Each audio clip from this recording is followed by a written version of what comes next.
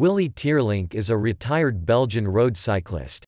He was professional from 1970 to 1986 and won 96 races.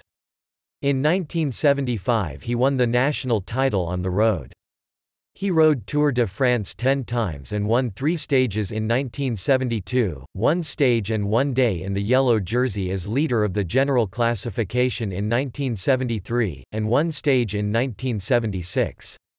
His other victories include individual stages of the Vuelta a España, Deutschland Tour, Étoile de Bessèges, Tour de Luxembourg, Tour de l'Oise as well as one-day races Grand Prix Pino Cerami, Grand Prix de Fourmies and the Grand Prix de Denain. An annual cycling event Willy Teirlinck Classic takes place in his honor in Liedekerke.